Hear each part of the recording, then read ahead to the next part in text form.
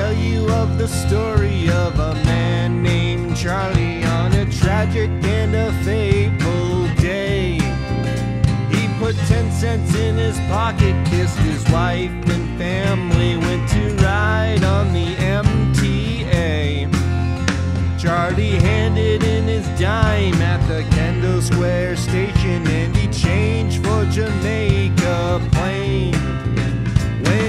got there, the conductor told him one more nickel. Charlie could not get off that train. Did he ever return? No, he never returned, and his fate is still unlearned. Poor old Charlie. He may ride forever neath the streets of Boston. He's the man who never returned. Now all night station crying, What will become of me? How can I afford to see my sister in Chelsea or my cousin in Roxbury?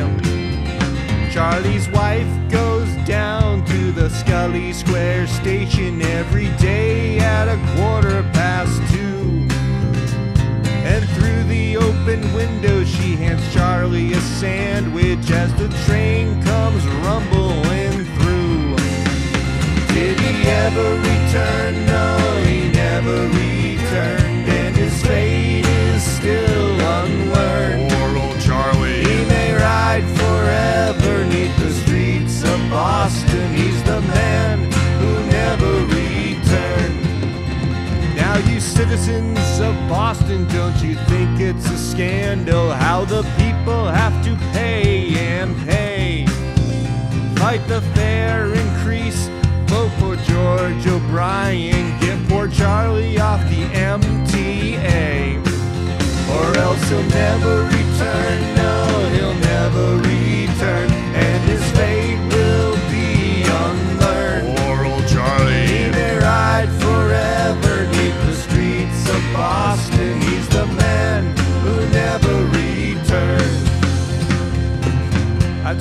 on the MTA when I was a kid. I got on, saw this ugly, disgusting man who hadn't showered in a while.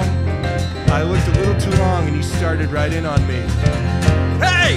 You got a nickel? All I want is a nickel! No one will give it to me! Just give me a nickel! My wife would never give me a nickel! She would just give me a sandwich through an open window! And all I wanted was a nickel! And she wouldn't give it to me!